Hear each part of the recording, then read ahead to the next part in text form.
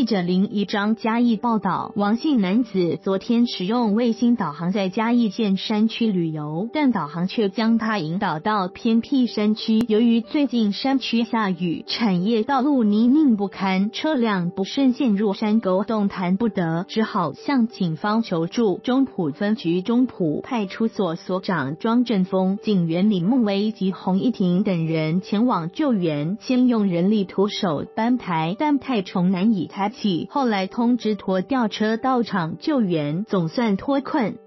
嘉义县警方昨天下午一点多获报，中埔乡石落村加一百三十五线产业道路有车辆卡在山沟，警方和热心的当地居民前往寻找，找到王姓男子的车辆，耗费一番功夫，总算将车辆拉上山沟。